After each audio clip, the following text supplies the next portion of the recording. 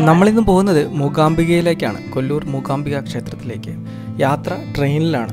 പുതിയ ബ്രഹ്മരഥം സ്വർണത്തേരിലെ ശീവേലി വാരപ്രദക്ഷിണം ദേവസ്വം കോട്ടേജിലെ താമസം മസ്തിക്കോട്ടെ വനദുർഗാ ക്ഷേത്രം സൗഭർണിക കുടജാത്രി അങ്ങനെ ഒരു പിടി കാഴ്ചകളുണ്ട് കാണാൻ. അപ്പോൾ നമുക്ക് യാത്ര തുടങ്ങാം.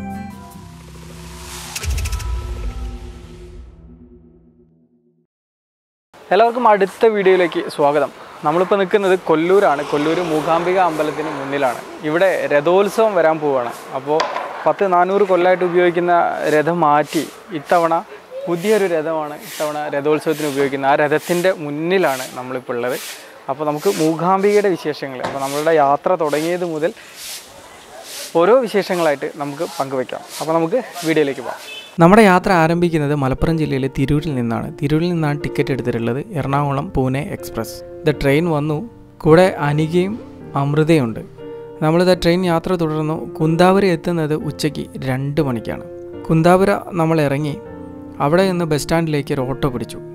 ഏകദേശം എട്ട് കിലോമീറ്റർ ഉണ്ടെന്നാണ് ഓട്ടോക്കാരൻ പറഞ്ഞത്. Railway station to Kundapura bus stand. ഇരുന്നൂറ് രൂപയാണ് ഓട്ടോ ചാർജ് വാങ്ങിച്ചത്. കുന്താപുര ബസ് സ്റ്റാൻഡിൽ ഓട്ടോ ഇറങ്ങി കൊല്ലൂർ ബസ് കണ്ടുപിടിച്ചു. കൊല്ലൂർ ബസ്സിൽ കയറി കൊല്ലൂരിലേക്ക് യാത്ര തുടർന്നു. അറുപത് രൂപയാണ് ഒരാൾക്ക് Kundapura to Kollur ticket fare. ഏകദേശം ഒന്നര മണിക്കൂർ ദൂരമുണ്ട് കുന്താപുരയിൽ നിന്നും കൊല്ലൂരിലേക്ക്. കൊല്ലൂർ ബസ് സ്റ്റാൻഡിൽ ഇറങ്ങി. വലിയ തിരക്കൊന്നുമില്ല. വളരെ വിജനമായി കിടക്കുന്ന ഒരു ബസ് സ്റ്റാൻഡ്. അവിടെ നിന്ന് തൊട്ടടുത്താണ് മൂകാംബിക ക്ഷേത്രം. പക്ഷേ നടക്കാവുന്ന ദൂരമേ ഉള്ളൂ എന്ന് പറഞ്ഞെങ്കിലും നമ്മളൊരു ഓട്ടോ പിടിച്ചു. മുപ്പത് രൂപയാണ് ഓട്ടോയ്ക്ക് കൊടുത്തത്. അങ്ങനെ നമ്മൾ മൂകാംബിക ക്ഷേത്ര സന്നിധിയിൽ വന്നിറങ്ങി. ഈ മൂകാംബിക ക്ഷേത്രത്തിന്റെ പ്രത്യേകത എന്ന് പറയുമ്പോൾ നൂറ്റെട്ട് ശിവാലയങ്ങളിലും നൂറ്റെട്ട് ദുർഗാലയങ്ങളിലും ഉൾപ്പെടുന്ന ക്ഷേത്രമാണ് മൂകാംബിക. കാരണം ശ്രീചക്രപീഠത്തിൽ ഭഗവതിയോടൊപ്പം ശിവലിംഗം കൂടി ഉള്ളതിനാലാണ് അങ്ങനെ ഒരു പ്രത്യേകത. കോലമഹർഷി തപസ് ചെയ്ത സ്ഥലമായിരുന്നു കോലാപുരം. അതായത് ആ കോലാപുരമാണ് പിന്നീട് കൊല്ലൂരായി മാറിയത് എന്നൊരു ഐതിഹ്യം കൂടിയുണ്ട്. വന്നിറങ്ങിയ ഉടനെ തന്നെ നമ്മൾ ആദ്യം ക്ഷേത്രത്തിന്റെ മുൻവശത്തേക്ക് ഒന്ന് നടന്നു. വന്നപ്പോൾ തന്നെ കണ്ടത് പുതിയ ബ്രഹ്മരഥം അവിടെ ഒരുങ്ങിയിട്ടുണ്ട്. രഥോത്സവത്തിന്റെ കൊടിയേറ്റത്തിന് മുന്നോടിയായി ബ്രഹ്മരഥം അവിടെ പുറത്തേക്ക് ഇറക്കുന്നുണ്ട്.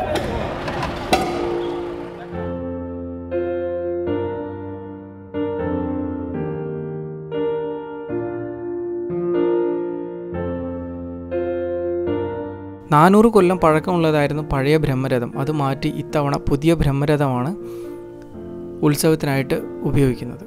പഴയ ബ്രഹ്മരഥത്തിന്റെ അതേ രീതിയിൽ തന്നെയാണ് പുതിയതും പണി കഴിപ്പിച്ചിട്ടുള്ളത്. ആർ എൻ ഷെട്ടിയുടെ മകനായ സുനിൽ ഷെട്ടിയാണ് പുതിയ ബ്രഹ്മരഥം ദേവിക്കായിട്ട് ഇവിടെ സമർപ്പിച്ചത്.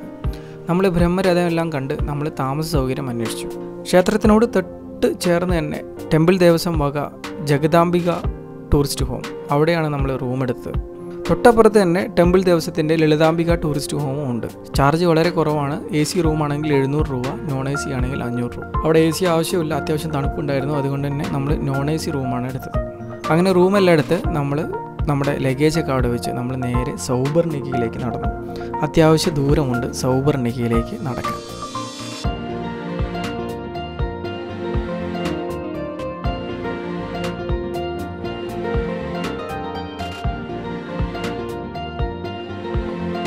നമുക്കറിയാം കുടജാദ്രിയിൽ നിന്ന് ഉത്ഭവിച്ച് അറുപത്തിനാല് ഔഷധ സസ്യങ്ങളിൽ തഴുകിയെത്തുന്ന സൗവർണിക.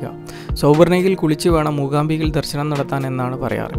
നമ്മൾ സൗവർണികയിൽ ഇറങ്ങി. വേനൽക്കാലം ആയതുകൊണ്ട് തന്നെ വലിയ വെള്ളമൊന്നുമില്ല. കെട്ടിക്കിടക്കുന്ന വെള്ളമാണ്. അത് അത്ര നല്ലതാണെന്ന് തോന്നിയില്ല. അതുകൊണ്ട് ഒന്ന് കൈയും കാലും മുഖമൊക്കെ കഴുകി കുളിച്ചില്ല. പക്ഷേ പലരും അവിടെ കുളിക്കുന്നുണ്ടായിരുന്നു. കുരങ്ങന്മാരാണ് ഈ ഏരിയയിൽ മൊത്തം. കാരണം വനത്തിലൂടെ ഒഴുകിയെത്തുന്ന വനത്തിനുള്ളിലെ ഒരു പുണ്യ നദിയാണ് സൗപർണിക. തൊട്ടപ്പുറത്ത് കാണുന്ന നേരെ മുന്നിൽ കാണുന്ന വനമാണ്. കുരങ്ങന്മാർ ഒരുപാടുണ്ട് അവിടെ.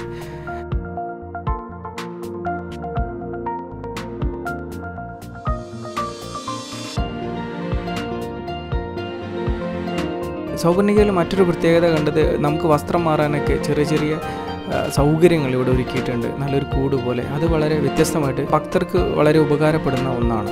അങ്ങനെ സൗവർണികയിലൊക്കെ കുളിച്ച് നമുക്ക് തൊട്ടപ്പുറത്ത് സൗവർണികയോട് ചേർന്ന് നിൽക്കുന്ന ഗണപതി ക്ഷേത്രത്തിൽ തൊഴുത് നമുക്ക് മൂകാംബയിലേക്ക് പോകാം. സൗവർണികയിൽ നിന്നും മൂകാംബികയിലേക്ക് എത്തുന്നതിന് മുമ്പ് നമ്മൾ മാസ്തിക്കോട്ട വനദുർഗ ക്ഷേത്രത്തിലേക്ക് കൂടി ഒന്ന് പോയി. നമ്മളിപ്പോൾ നിൽക്കുന്നത് മൂകാംബികയ്ക്ക് അടുത്തുള്ള മാസ്തിക്കാട്ട് വനദുർഗ ക്ഷേത്രത്തിലാണ്. അപ്പോൾ നമുക്കറിയാം മൂകാംബികയിലേക്ക് കടക്കുന്ന നമ്മുടെ ഗേറ്റ്. ആ ഗേറ്റ് കഴിഞ്ഞാൽ ആദ്യം കാണുന്ന ഒരു ക്ഷേത്രമാണിത്. വനദുർഗ ആണ് ഇവിടുത്തെ പ്രതിഷ്ഠ. അപ്പോൾ മൂകാംബികയിലേക്ക് വരുന്നവരൊക്കെ ഇവിടെ കയറാറുണ്ട് ഇവിടെ കയറി പ്രസാദം സ്വീകരിക്കാറുണ്ട് എന്നാണ് പറയുന്നത്. വളരെ പേര് കേട്ട ഒരു അമ്പലമാണ്. പണ്ട് ശങ്കരാചാര്യരൊക്കെ ഇവിടെ വന്നിട്ടാണ് പിന്നീട് യാത്ര തുടങ്ങിയത് എന്നൊക്കെ ചരി ഐതിഹ്യം പറയുന്നുണ്ട്. അപ്പോൾ എന്തായാലും വളരെ മനോഹരമായ കാടിനുള്ളിലെ ഒരു അന്തരീക്ഷത്തിലുള്ള ഒരു ക്ഷേത്രം. നമുക്ക് ഈ ക്ഷേത്രത്തിന്റെ കാഴ്ചകളൊക്കെ ഒന്ന് കാണാം. മൂകാംബികയുടെ കാവലാളായി നിൽക്കുന്ന വനദുർഗ. വളരെ മനോഹരമായ ഒരു പ്രകൃതി ക്ഷേത്രമാണ് വനദുർഗ. അവിടെ നമുക്കറിയാം ദാരുവിൽ തീർത്ത ഒരുപാട് വിഗ്രഹങ്ങൾ കാണാം. ഒരുപാട് വർഷത്തെ പഴക്കമുള്ള ഒരു പ്രകൃതിയോട് ചേർന്ന് നിൽക്കുന്ന ഒരു മനോഹരമായ ക്ഷേത്രം. വേഴാമ്പലുകളെ നിറച്ച് കാണാം നമുക്ക്. ആ ഒരു വനത്തിന്റെ മുകളിൽ മരങ്ങളിലൊക്കെ വേഴാമ്പലുകളെ കാണാം. അതിന്റെ ശബ്ദം കേൾക്കാം. വളരെ നല്ലൊരു അന്തരീക്ഷം. ഇവിടെ തൊട്ടിൽ വഴിപാടായിട്ട് ഒരുപാട് നമുക്ക് വഴിപാടായി സമർപ്പിച്ചിരിക്കുന്നത് കാണാം. ഈ മൂകാംബിക പോകുന്നവരും മാസ്തിക്കോട്ടയിൽ കൂടി പോകണം എന്നാണ് പറയുക അങ്ങനെ മാസ്തിക്കോട്ട വനദുർഗ ക്ഷേത്രത്തിൽ കൂടി തൊഴുത് നമ്മൾ നേരെ മൂകാംബിക ക്ഷേത്രത്തിലേക്ക് പോയി.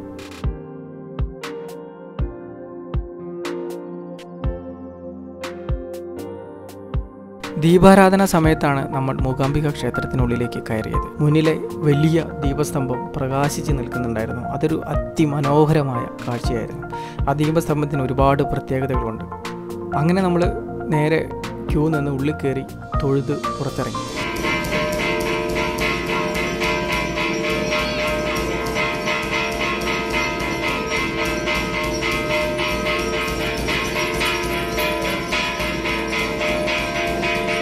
പിന്നീട് ക്ഷേത്രത്തെ ഒന്ന് വലം വെച്ചു.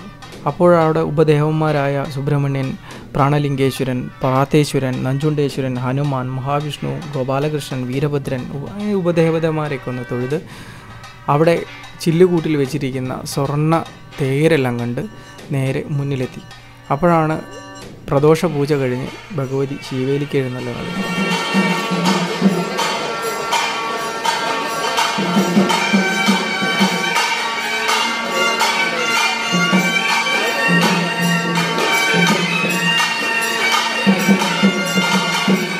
ആദ്യം തിടമ്പ് തലയിലേറ്റി ഒരു പ്രദക്ഷിണം അത് കഴിഞ്ഞ് മഞ്ചലിൽ ഒരു പ്രദക്ഷിണം. അതും വളരെ മനോഹരമായ കാഴ്ചയാണ്. അത് കഴിഞ്ഞ് വെള്ളിപ്പല്ലക്കിൽ ഒരു പ്രദക്ഷിണം.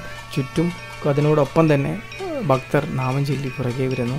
അപ്പോഴേക്കും നമ്മൾ ആ ചില്ലുകൂട്ടിൽ കണ്ട സ്വർണത്തേര് റെഡിയായി ക്ഷേത്രത്തിന്റെ മുൻവശത്ത് നിൽപ്പുണ്ട്. അത് ഇത്രയും അടുത്ത് കാണാൻ പറ്റുമെന്ന് നമ്മൾ വിചാരിച്ചതല്ല. ഈ വെള്ളിപ്പല്ലക്കിലെ പ്രദക്ഷിണം കഴിഞ്ഞ് നേരെ ഭഗവതിയെ സ്വർണ തേരിൽ വയ്ക്കുന്നു അതായത് ഉദയാസ്തമന പൂജ ചെയ്യുന്ന വ്യക്തികൾക്ക് അന്ന് ആ സ്വർണ തേര് വലിക്കാനുള്ള ഒരു അവകാശം ഉണ്ടെന്നാണ് പറയുന്നത്. അവരും റെഡിയായി മുന്നിൽ നിൽക്കുന്നുണ്ട്. അങ്ങനെ ഭഗതിയും വഹിച്ചുകൊണ്ട് സ്വർണ തേര് ക്ഷേത്രത്തിന് ചുറ്റും മലം വയ്ക്കുന്ന അതിമനോഹരമായ നയ- നയനാനന്ദകരമായൊരു കാഴ്ച അന്നവിടെ കാണാൻ പറ്റി. അത് കഴിഞ്ഞ് സരസ്വതി മണ്ഡപത്തിലെ പൂജയും കണ്ട് ഒമ്പത് മണിക്ക് നാട്ട അടച്ചതിന് ശേഷമാണ് അന്ന് മൂകാംബിക ക്ഷേത്രത്തിൽ നിന്നും പുറത്തിറങ്ങിയത്.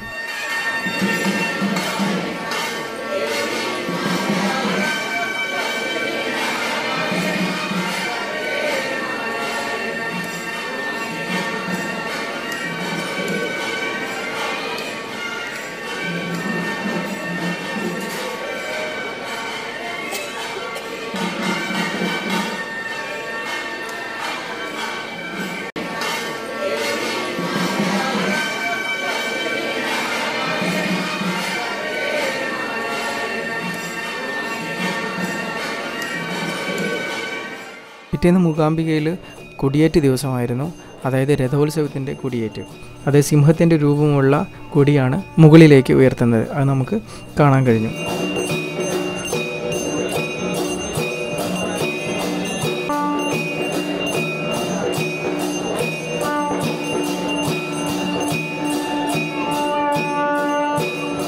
മാർച്ച് എട്ട് മുതൽ പതിനേഴ് വരെയാണ് ഇത്തവണത്തെ ഉത്സവം നടക്കുന്നത്. എട്ടാം ദിവസമാണ് ഈ ബ്രഹ്മരഥത്തിൽ ഭഗവതി ഏറിയിട്ടുള്ള രഥോത്സവം നടക്കുന്നത്. രാത്രിയിൽ ഒരു വാരപ്രദക്ഷിണം ഉണ്ടായിരുന്നു. അതായത് അമ്മ ഭക്തരെ കാണാൻ പുറത്തേക്ക് എഴുന്നള്ളുന്ന ഒരു അതിമനോഹരമായൊരു കാഴ്ച.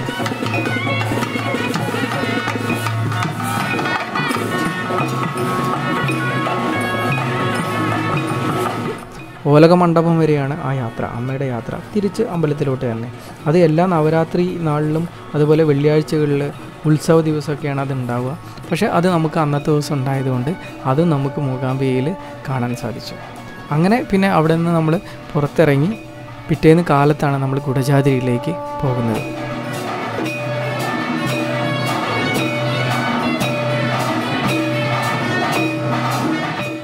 ഇതാണ് നമ്മുടെ മുഖാംബികയിലെ പഴയ ദേവരഥം. പഴയതെന്ന് പറയാൻ പറ്റില്ല. കഴിഞ്ഞ വർഷം വരെ ഇതാണ് ഉപയോഗിച്ചിരുന്നത് എന്നാണ് പറഞ്ഞത്. ഇത്തവണ നമുക്ക് പുതിയ രഥം നമ്മളവിടെ കണ്ടു. അപ്പോൾ നമ്മുടെ ഈ മൂകാംബയിൽ നമ്മൾ അടുത്തായിട്ട് കുടജാദ്രിയിലേക്കാണ് പോകുന്നത്. നമുക്ക് ജീപ്പിന് പോകണം അപ്പോൾ ആ ഒരു കാഴ്ചകൾ അടുത്ത എപ്പിസോഡിൽ കാണാം. അപ്പോൾ ഈ വീഡിയോ ഇഷ്ടമായ ലൈക്ക് ചെയ്യുക കമന്റ് ചെയ്യുക ഷെയർ ചെയ്യുക. അപ്പോൾ ഇതുപോലെയുള്ള മനോഹരമായ വീഡിയോ ആയിട്ട് കാണാം. അപ്പോൾ കുടജാദ്രി വീഡിയോ മറക്കാതെ കാണാം. അപ്പോൾ എല്ലാവർക്കും